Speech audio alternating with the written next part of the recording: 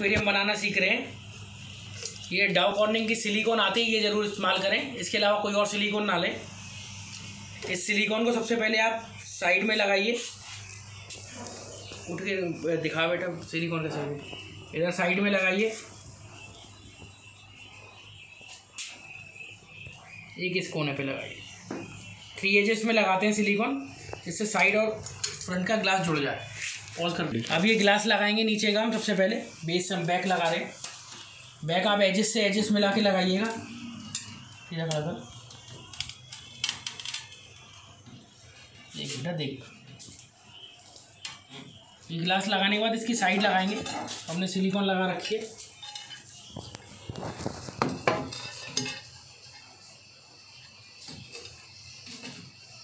Pause करो। Pause कर दिया?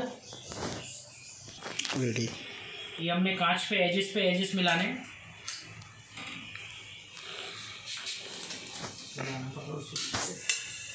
अब बोलो। ये टेप लगाएँगे इसको चिपकाने के लिए एजेस मिला के। समझ बिल्कुल बेकार काम कर रहे हैं।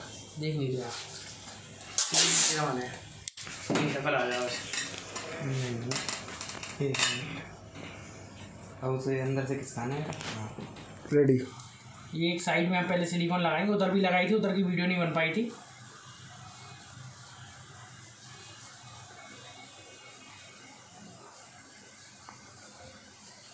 पॉज अब इसका।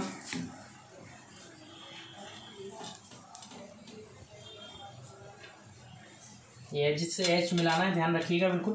कोने से कोना मिलना चाहिए वरना फिनिशिंग नहीं आएगी।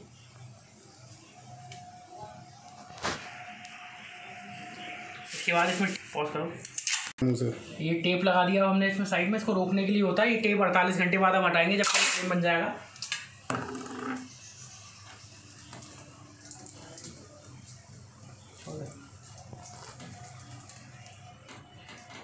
एक बार ये पूरे सब शर्ट साइड में अंदर से एक बार सिलिकॉन भर देंगे।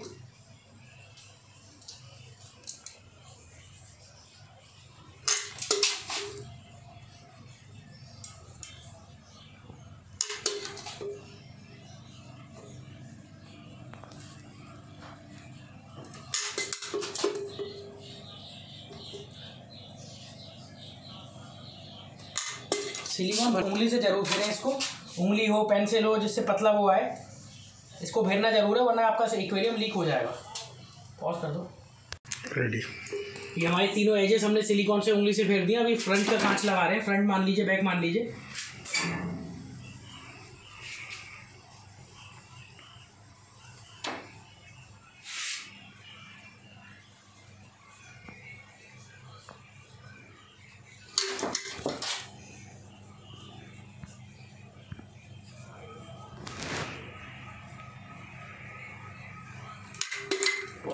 ये हम इसमें रख के बिल्कुल टक्कर से टक्कर मिलाएँगे गिलास की।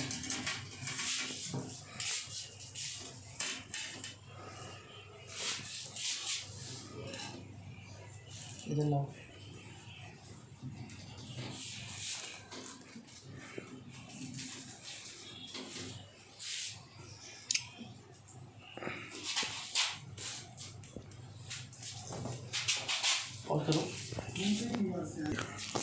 ये अब कर, चौथा ग्लास लगाने के बाद ही पूरे आप सिलिकॉन भर दीजिए इसके अंदर।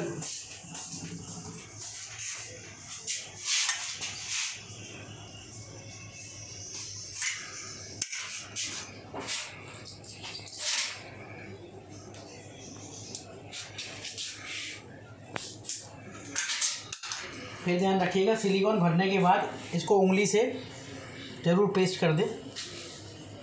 वरना ये सूखेगा नहीं। तो दिक्कत होगी। लीक होगा एक्वेरियम। में हमारा एक्वेरियम एक तरीके से पूरा तैयार हो गया। और जाओ। ये एजेस मिला के आपने लगा दिए पूरे ऊपर तक एजेस ये आपका एक्वेरियम अड़तालीस घंटे बाद आप इसमें पानी भर सकते हैं।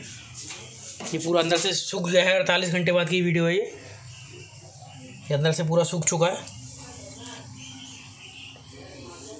कभी भी एक्वेरियम रखे नीचे, थर्मोकॉल ज़रूर रखिएगा। ये आपका एक्वेरियम तैयार हो गया। है ये आठ एम ग्लास में बनाया है हमने। ढाई फुट का साइज़ है।